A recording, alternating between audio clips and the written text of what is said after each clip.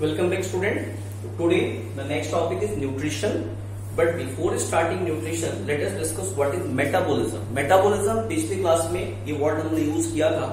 Now what are meta what is metabolism तो metabolism body के अंदर काफ़ी सारी केमिकल रिएक्शंस होती हैं and since these are taking inside the biological system that's why such reactions are called biochemical reactions and these biochemical reactions are together called metabolism Inside the metabolism, some reactions are some reactions are constructive and some are destructive. And the, both the reactions are required. Destructive का मतलब ये नहीं उस समय कुछ नुकसान हो रहा है. These reactions are also required. तो in the in this way we can divide metabolism into two parts. Metabolism. Metabolism that means anabolism and catabolism.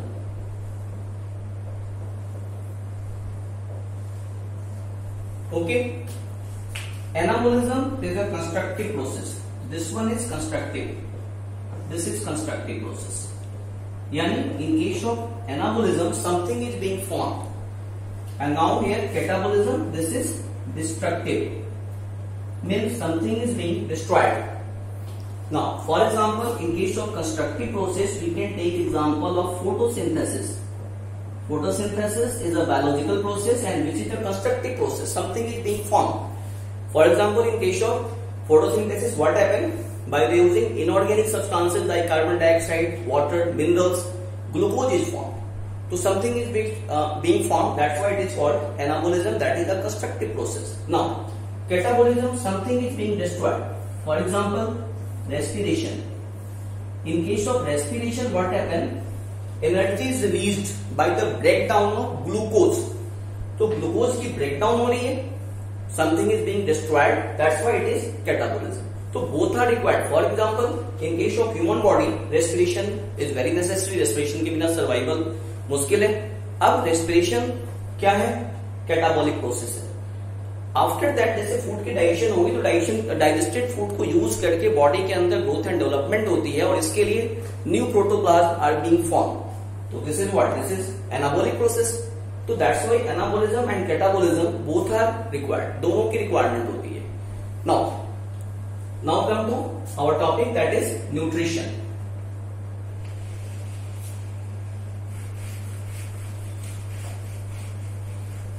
okay okay. तो nutrition we can define nutrition the process by which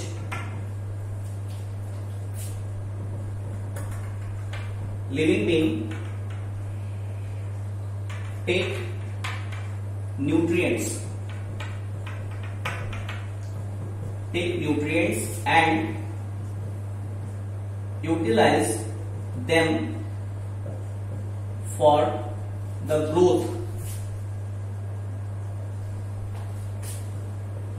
And development of their body.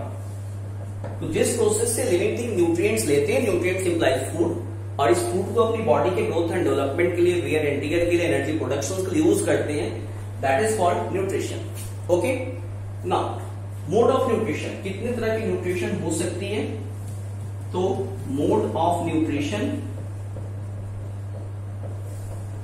mode of nutrition look here broadly we can define nutrition into two types that is autotrophic nutrition autotrophic nutrition and then we have heterotrophic nutrition. Heterotrophic nutrition. Auto implies self self nutrition जिसमें organism अपना food खुद prepare करते हैं। By using inorganic substances like green plants in case of heterotrophic nutrition organism depend for their food requirement directly और indirectly on autotrophs autotrophs पे depend करते हैं। You can say we cook our food हम अपना food खुद बनाते हैं। नहीं। We can only transform the things available already in the nature in the form of food. जैसे अगर हम आपको चपाती बनाते हैं तो एक्चुअली चपाती जो कुछ भी है, वो आपको वीट से बनती है। And wheat is grown in the field यानी wheat is what it is a plant it is a plant product which is already available in nature और हम उसके फॉर्म को ट्रांसफॉर्म करते हैं। हम उसको दूसरे फॉर्म में कन्वर्ट कर रहे हैं। So in this way, we are not making our food. Okay, only green plants can prepare their own food. Again, autotrophic mode of nutrition can be divided into two parts, two types. That is chemo autotroph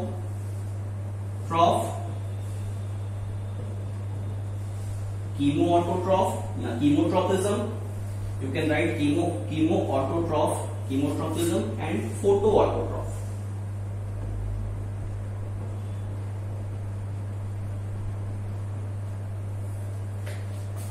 There are two type of organism photoautotroph का मतलब जिसमें photosynthesis होती है for example green plants and chemoautotroph certain bacteria for example आपने ninth class में nitrogen cycle पढ़ा होगा। Nitrogen cycle में there are nitrogen fixing bacteria Nitrosomonas etcetera तो ये क्या करते हैं नेचर में अवेलेबल इनऑर्गेनिक सब्सटेंसेस नाइट्रोजन को नाइट्रेट वगैरह में कन्वर्ट करके अपने फ़ूड की रिक्वायरमेंट को फुलफिल करते हैं तो for example Nitrosomonas we can write nitro Pseudomonas, bacteria. And here in case of photoautotroph, we can take example all green plants. Green plants. Okay. Now, in case of heterotrophic nutrition, we can divide the heterotrophic nutrition into three types, three parts. That is parasitic mode of nutrition or you can say parasitism. parasitism next saprophytic mode of nutrition and the last one is holozoic mode of nutrition okay now तीनों autotroph ये हमें ज़्यादा discuss नहीं करना NCERT के syllabus में, आपके tenth class के सिलेबस में है भी नहीं। Now come to autotroph autotrophic mode of nutrition that is by the process of photosynthesis and then after we will discuss the heterotrophic mode of nutrition तो okay come to autotrophic mode of nutrition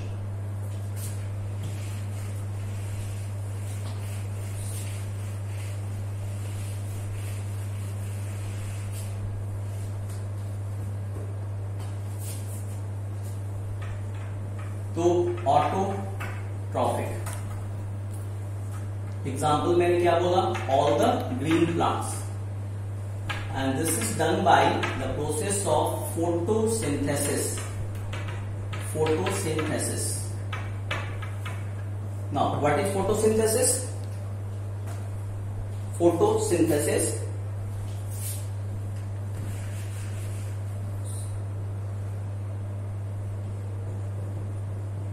photosynthesis Okay. In case of photos, first of all, we have to define photosynthesis. Write down the definition. The process by which green plants convert green plants convert solar energy into biological biologically useful compounds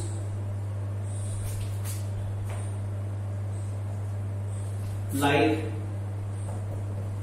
carbohydrate by using CO2 and water, CO2, water and minerals in the presence of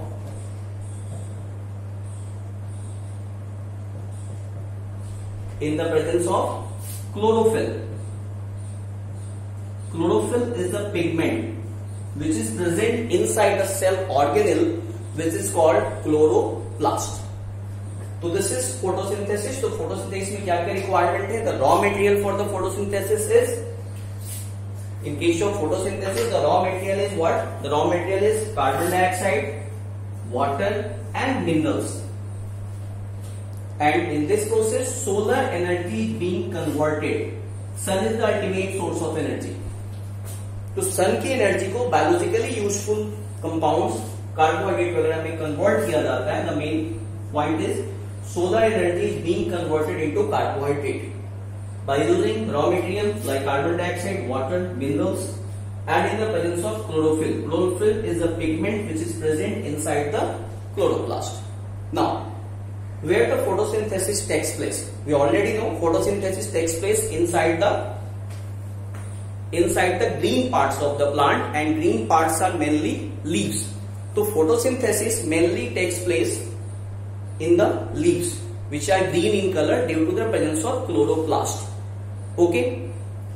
So we will discuss first the site of photosynthesis that is green plants or green plants में कहाँ पे um, green um, parts of the plant that is leaves और leaves में कहाँ पे होती है leaves के अंदर मेजोफिल टिश्यूज होते हैं और मेजोफिल टिश्यूज के अंदर क्लोरोप्लास्ट होता है और क्लोरोप्लास्ट के अंदर एक पिगमेंट होती है क्लोरोफिल, जिसकी वजह से फोटोसिंथेसिस होती है। तो first we discuss the site of photosynthesis and then the mechanism of photosynthesis in the next lecture thank you